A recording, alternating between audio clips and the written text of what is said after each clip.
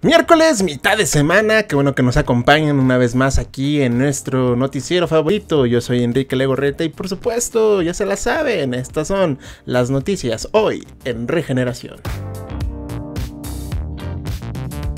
La gaviota está siendo investigada. ¿Cómo creen? Pues el señor Santiago Nieto habló al respecto y esto fue lo que dijo. Santiago Nieto, uno de los hombres fuertes de la lucha contra la corrupción por parte del gobierno del presidente López Obrador, habló acerca de los rumores que señalan que se está investigando a la ex primera dama Angélica Rivera. El titular de la UIF destacó que hasta el momento no hay alguna indagatoria. No estamos realizando alguna investigación contra la ex primera dama, estamos metidos en otros temas como es la trata de personas, colaborar con el INE congelando cuentas que están dando dinero por debajo de la mesa. Señaló. ¿Tú qué dices? ¿Deberían investigar las relaciones que tuvo la llamada gaviota en el gobierno de Peña Nieto? Cuéntanos en los comentarios. Y los casos en Oaxaca siguen dando de qué hablar. Si no es la violencia, es otro tipo de fraude y esto es lo que pasó en aquella hermosa entidad. El candidato de la coalición va por Oaxaca, PAN, PRI, PRD a la diputación local por el distrito de Santo Domingo, Cristian Fuentes, es acusado de estar implicado en la mafia que operó desde el registro civil alterando la identidad de ciudadanos para cometer actos delictivos. Y es que Cristian Fuentes fue director del registro civil cuando ocurrió la alteración desde la base de datos de la institución de dos ciudadanos que se quejan del posible despojo de posesiones y de su herencia. Los afectados son los hermanos Herbe, Caleb y Asmar Gómez Cosanti y Martínez, quienes denunciaron que dentro del registro civil de Oaxaca, desconocidos manipularon la base de datos y les quitaron sus nombres y les pusieron unos falsos, lo que les ha causado problemas con la posesión de sus propiedades. ¿Ustedes qué creen? ¿Que Lorenzo Córdoba va a decir algo respecto a sus más recientes dichos?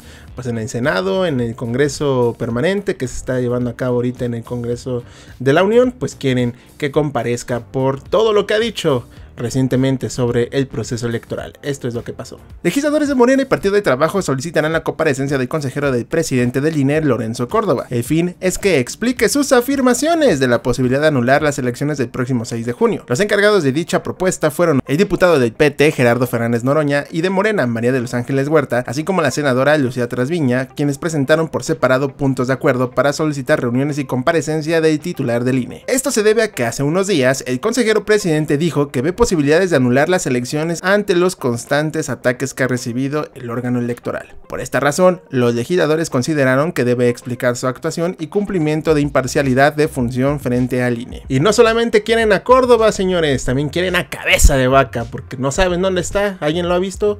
¿Tú lo has visto? ¿Tú lo has visto? ¿Tú lo has visto? ¿Tú lo has visto? La bancada del Partido de Trabajo en el Senado de la República solicitará a la comisión permanente que el gobernador de Tamaulipas, Cabeza de Vaca, comparezca presencialmente. También la coordinadora del PT en el Senado, Giovanna Bañuelos, y su compañero de escaño, Miguel Ángel Lucero, presentaron un punto de acuerdo para solicitar la reunión con el gobernador panista. Lo anterior se desprende de una supuesta orden de aprehensión al gobernador, a quien no se ha visto desde hace varios días y solo se ha registrado que tiene actividades a través de sus redes sociales. ¿Qué pasará con el caso de Cabeza de Vaca? Cuéntanos en los comentarios. Y por si no fuera más triste o más eh, desesperante para los aficionados del Cruz Azul, que ya quieren ser campeones después de que el 97 fue su último título.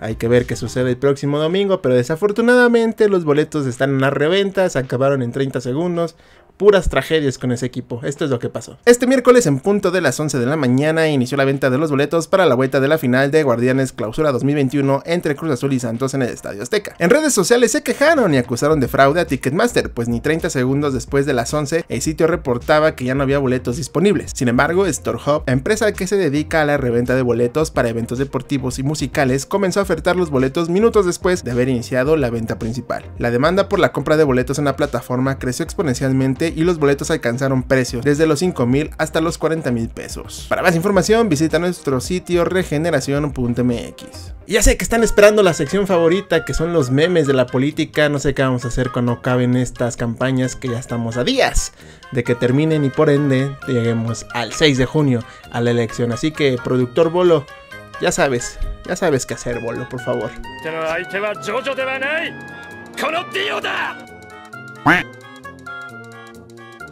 ¡Míralo! ¡Cuadrado! ¡La forma de la maldad!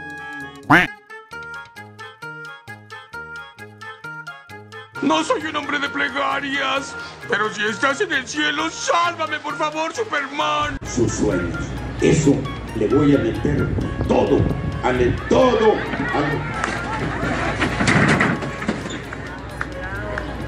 No pasa nada. Aquí de manera colectiva lo vamos a levantar. Vamos para adelante. Órale. Vamos.